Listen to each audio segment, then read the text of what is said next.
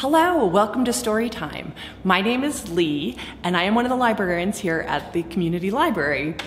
I do story time every week. I record them, and I'm so glad that you tuned in today. Thank you for joining me. This week, I'm going to do something a little bit different. Usually, I pick a theme, and I do have a theme this week, but I'm going to read all three books by the same author. It's the person who wrote the book and the same illustrator, the person who drew the pictures.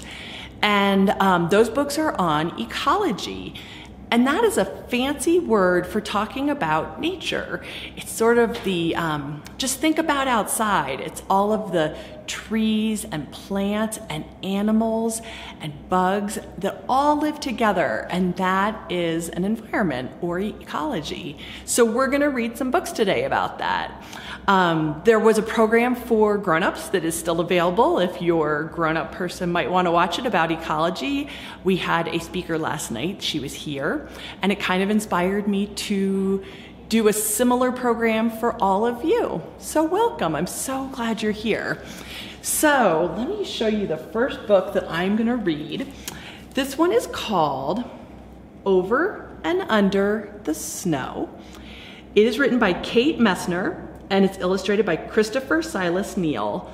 And these books are all published by Chronicle Books. All right. Over the snow I glide, into woods frosted, fresh, and white. Over the snow, a flash of fur. A red squirrel disappears down a crack. Where did he go? under the snow, Dad says. Under the snow, a whole secret kingdom where the smallest forest animals stay safe and warm. You're skiing over them right now. Over the snow I glide, past beech trees rattling leftover leaves and strong silent pines that stretch to the sky. On a high branch, a great horned owl keeps watch. Under the snow, a tiny shrew dodges columns of ice. It follows a cool tunnel along the moss out of sight.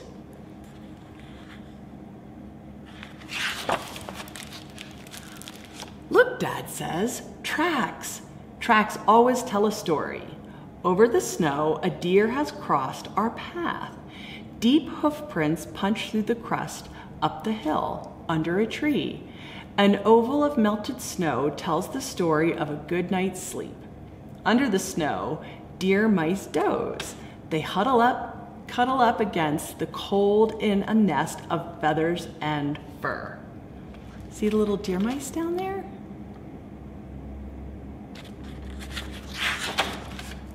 Over the snow I climb, digging in my edges so that I don't slide back down. Under the snow, voles scratch through slippery tunnels, searching for morsels from summer feasts.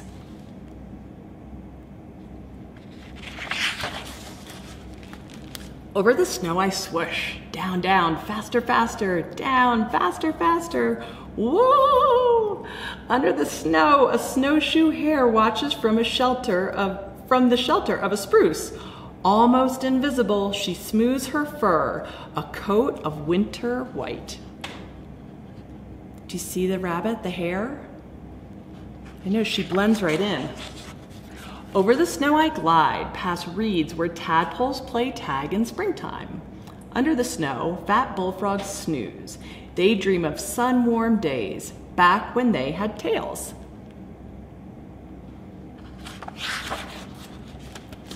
Over the snow, I stand and stare. Little mountains in the marsh. Under the snow, beavers gnaw on aspen bark. Settled in for supper. Can they hear my tummy rumbling too? Over the snow, stop, a sound. We stand like statues carved in ice till a bushy tailed fox steps from the thicket, tips his ears to the ground, listens, listens, listens, and leaps out onto the snow after an invisible dinner. His paws scratch away to find the mouse he heard scritch, scritch, scratching along underneath, under the snow. Do you see the little mouse that he heard?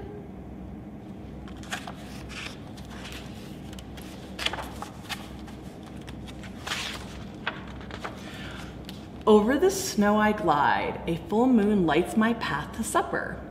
Under the snow, a chipmunk wakes for a, for a meal. Bedroom, kitchen, hallway, his house under my feet. Over the snow I climb one last hill. Bonfire smoke rises.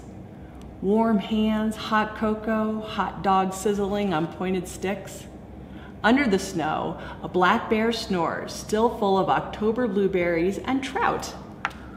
Look at that bear hibernating. Over the snow, the fire crackles and sparks shoot up to the stars. I lick sticky marshmallow from my lips and lean back with heavy eyes. Shadows dance in the flames.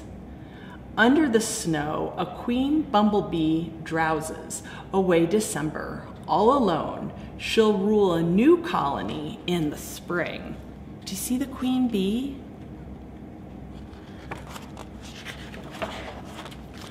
Over the snow, I glide home on tired legs. Clouds whisper down feathery, soft snowflakes.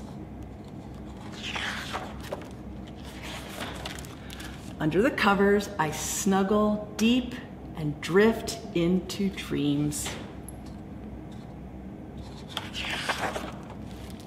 Of cuddling deer mice and slumbering frogs, hungry beavers and tunneling voles, drowsy bears and busy squirrels, and the secret kingdom under the snow. The end. These books are really neat because at the back they talk about all of the animals and the things that you read about in the book. So there's a lot more information. All right, so that is the first book. The second book I'm going to read is called Up in the Garden, Down in the Dirt.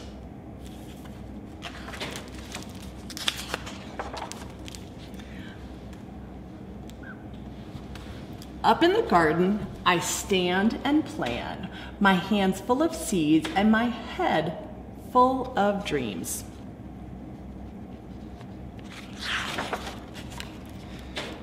Spring sun shines down to melt the sleepy snow. Wind whistles through last year's plants and mud sucks at my rain boots.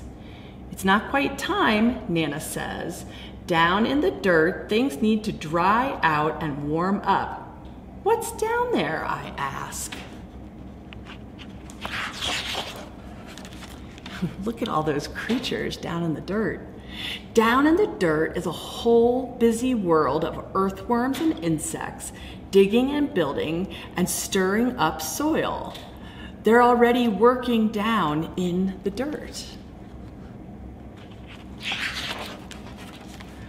Up in the garden, we snap brittle stalks, scoop rusty, rustly armfuls, and wheel away weeds for the chickens, while they squabble and scratch and spread compost over the soil.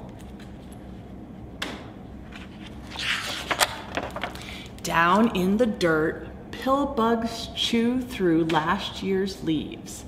I give a gentle poke they roll up tight and hide in pla plated suits of armor, roly-poly round. See them right there?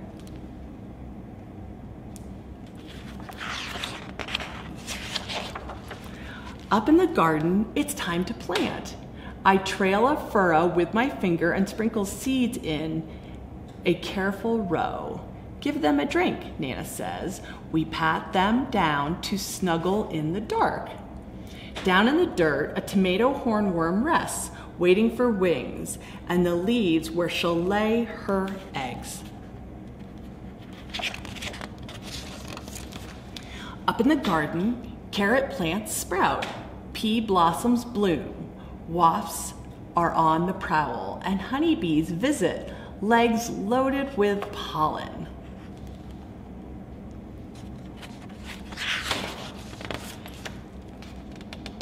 I weed and wilt in the sun so strong, even Nana looks for shade. Down in the dirt, earthworms tunnel deep. I'm jealous of their cool, damp dark. Up in the garden, rain shower, Nana turns the hose on me.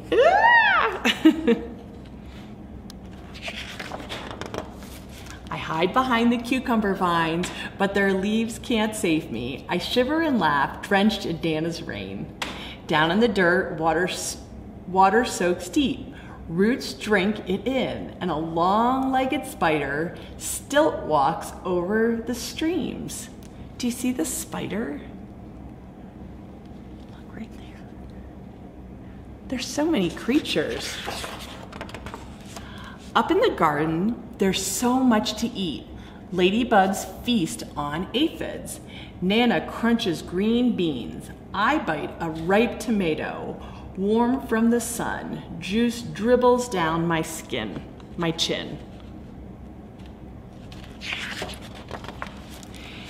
Down in the dirt, a robin's beak finds a cricket, a beetle, a grub. Slugs are scrumptious too. See all those insects down there? Robin's having a good feast. Up in the garden, we pick cukes and zucchini, harvesting into the dark. Bats swoop through the sunflowers, and I pluck June bugs from the basil until it's time for bed.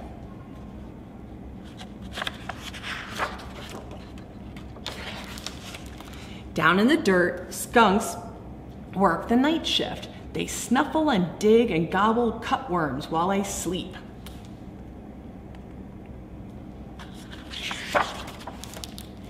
Up in the garden, a praying mantis wakes to hunt mosquitoes.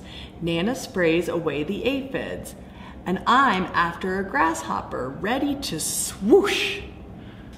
But, snap, someone else is faster.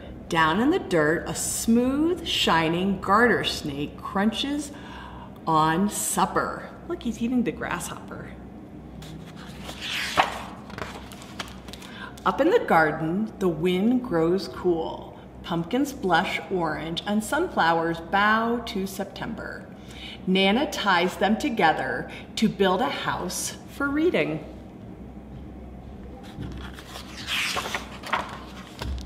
Down in the dirt, an orb weaver spins her web, strand by silken strand. She'll munch on the moths tonight.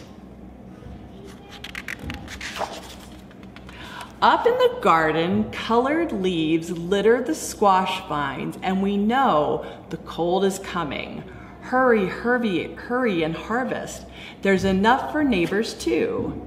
Down in the dirt, frantic ants gather what we leave behind. They're storing food for cooler days ahead. Up in the garden, frost draws lace on leftover leaves, where secret egg sacs hang, waiting for the warmth to return. We say goodbye and spread the winter blankets. Down in the dirt, beetles burrow, ants scurry home, earthworms curl tight in the dark.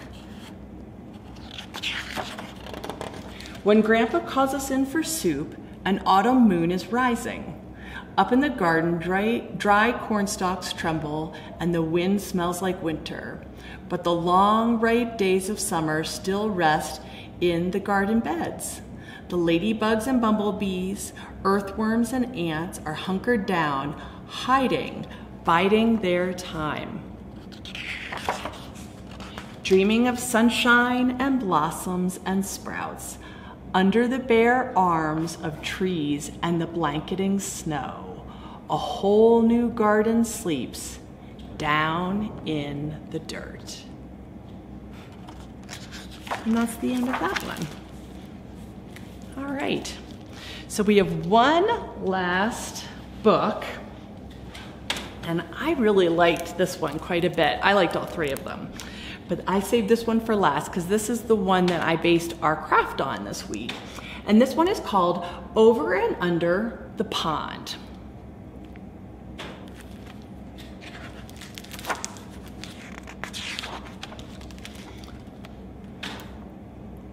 Over the pond we slide, splashing through lily pads, sweeping through reeds.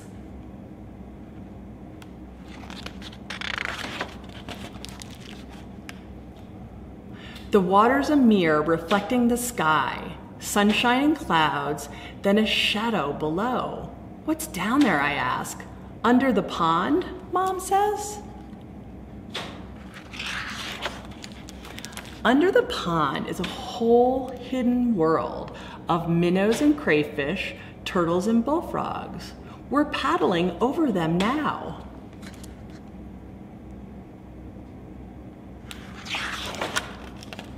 Over the pond, we skim past tall rushes, whirligig beetles loop and twirl, skaters on a warm summer surface. Under the pond, minnows dart through waving forests of grass, while a brook trout lurks, ready to lunge.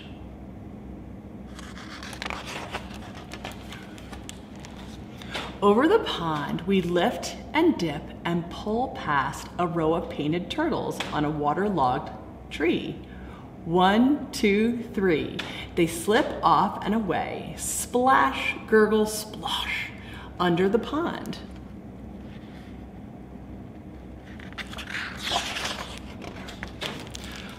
Over the pond, cattails rustle and sush and shush in the wind. Listen close. Red-winged blackbirds race by.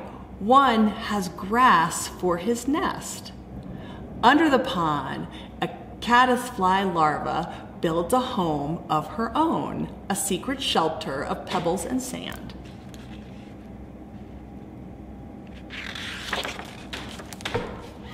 Over the pond, the shadows of trees lean out from the shore. We coast under a low hanging branch. A moose looks up with a mouthful of water lilies. We've interrupted his lunch.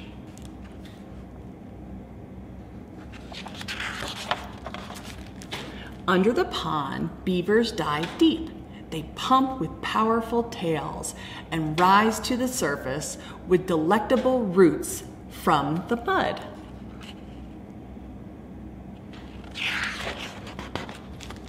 Over the pond, the wind gives us a push and stirs the light dappled leaves on shore. There on a branch, a new goldfinch teeters, finally ready to fly.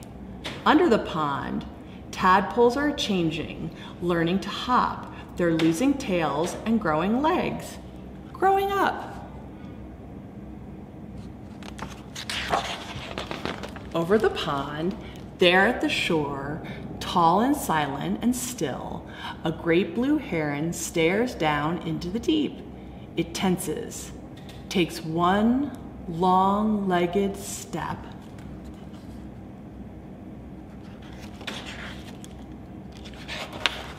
and strikes.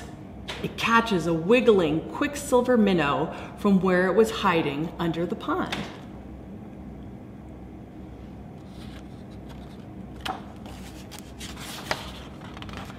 Over the pond we drift, heads tipped up to the sun.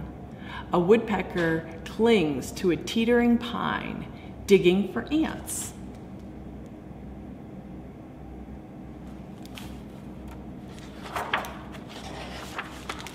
Under the pond, an otter claws for freshwater mussels.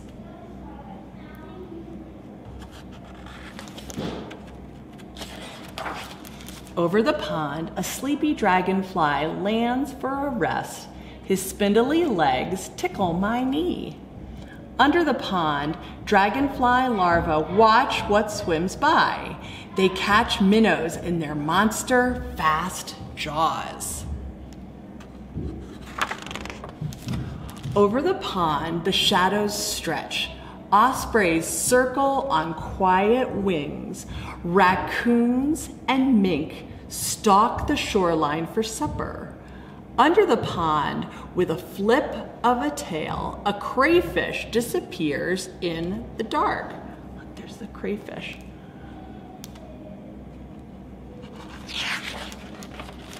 Over the pond, we head for home.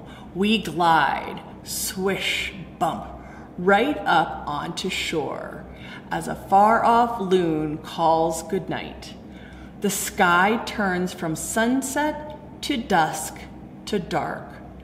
Night settles over the pond. The prowling catfish and drowsy turtles, the scuttling crayfish and tadpoles turn frogs, wading herons and stalking raccoons.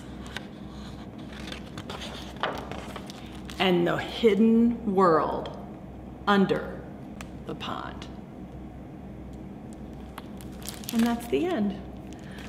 Thank you so much for tuning in. And if you get a chance and can come by the library, you can check out those books to take home.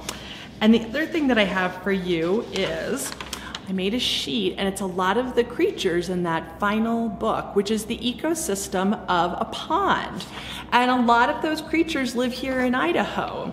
So there's that, and then you pick up like a coloring sheet and you get to make your own ecosystem. Can you see that? You can color it and cut out the creatures and put them on your sheet. It's kind of fun. And then you get to think about the animals and what they do and where they live. And it's so neat because they're all here in Idaho where we live. Spring is coming and we'll get to see those things soon. So thank you so much for tuning in this week and I will hopefully see you next week. Take care and goodbye.